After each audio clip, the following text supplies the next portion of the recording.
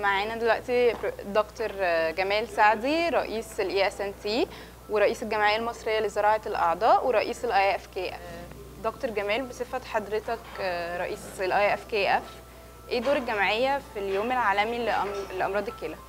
هو ال IFKF اللي هي المنظمة الدولية لمؤسسات الكلى هذه المنظمة ومؤسسات الكلى بتهتم بالتوعية العامة لأمراض الكلى ومدى انتشارها ومدى الوقاية منها. ده ما بيبقى أساسا على مستوى الأطباء فقط إنما بيشمل كل المنظومة المجتمعية المهتمة بانتشار مرض الكلى مش في مصر طبعا في العالم كله.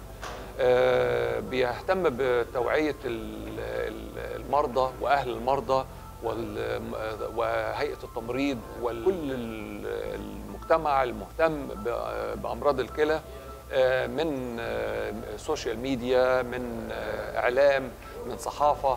طبعا بنحاول نعرف إيه مدى انتشار مرض الكلى. الأسباب اللي بتؤدي إلى هذا الانتشار الأسباب المؤدية لزيادة نسبة الإصابة بالقصور الكلوي وبالتالي بنصل إلى المراحل المتقدمه اللي بتحتاج إلى غسيل دموي متكرر أو اللجوء إلى زرع الكلى. ودايما الوقاية بتبقى أفضل من العلاج.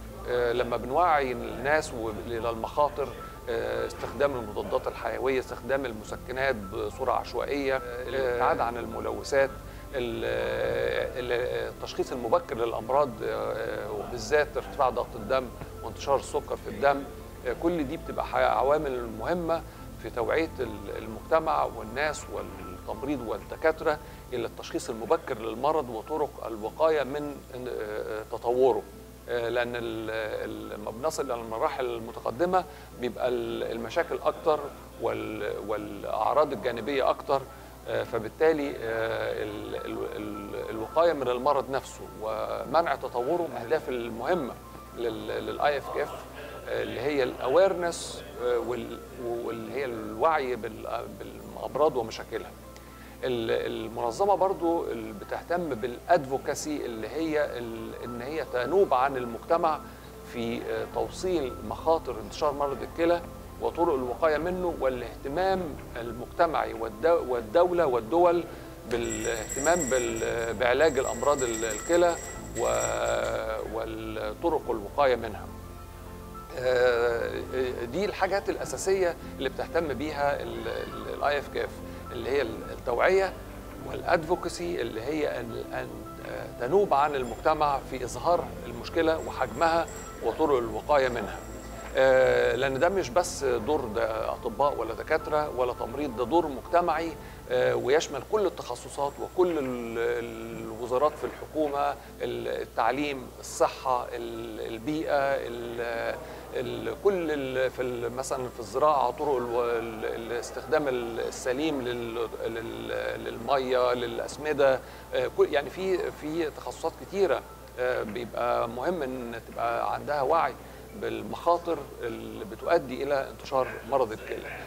ده دور مهم جدا للاي اف كاف ويمكن السنة دي الموضوع الأساسي اللي بتهتم بيه ال IFKF هو صحة المرأة بالنسبة لأمراض الكلى. طبعا بيبقى فيه عوامل مخصوصة أو عوامل إضافية في في المرأة بتؤدي إلى انتشار مرض الكلى في في السيدات أو البنات.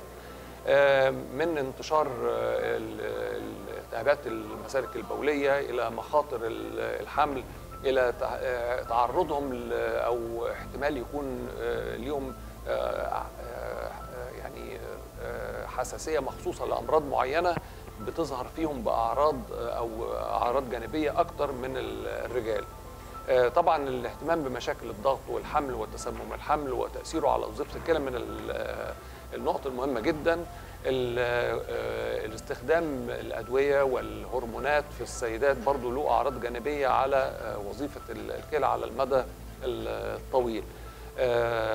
طبعا ال ال كل المشاكل ديت بيبقى فيه تركيز عليها وتوعيه للتشخيص المبكر وتوعية المجتمع والمرأة بالمشاكل اللي ممكن تتعرض لها صحتها الكلوية.